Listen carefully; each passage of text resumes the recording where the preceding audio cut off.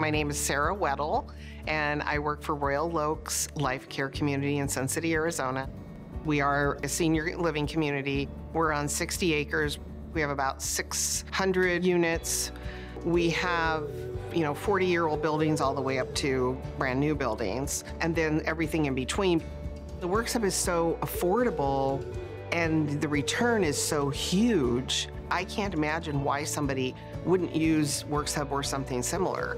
We've been able to justify a lot by streamlining our refurbishing process and finally being able to give them, hey, here's how much it's costing us on average to renovate a unit.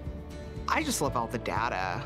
I know all of the customer service people by name, they all know me, and I tell staff this go on the chat, pick up the phone, send an email, because the customer service is that good. Every morning, our, our whole maintenance facilities team meets and we toss around ideas and they'll look at me like, can WorxHub do that? And it's kind of almost like a challenge, you know, and I'll be like, let me think. But we always come up to a solution.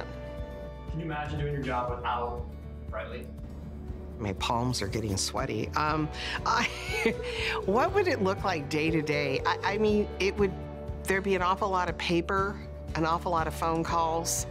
Uh, yeah, paper and phone calls and confusion and a lot of questions. Where do I go? What do I go? Where do I go? A lot of radio chatter. It would be a lot.